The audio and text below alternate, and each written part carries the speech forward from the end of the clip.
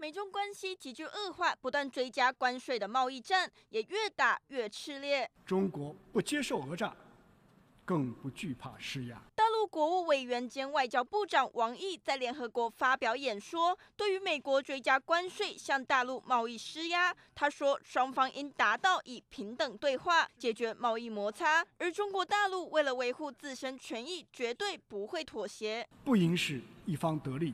一方受损的零和博弈，更不能将一己之私凌驾于所有人的利益之上。保护主义最终将损害自己，单边行动势必。殃及各方。虽然没有直接点名美国，但字字句句却暗指美方行径霸道。而近几个月来，华府与北京当局之间多次摩擦，王毅也试图缓和美中急速升温的紧张局势。中国绝不会重蹈国强必霸的覆辙，也决定了中国既不会成为美国，也不会挑战美国，我们更不会去取代美国。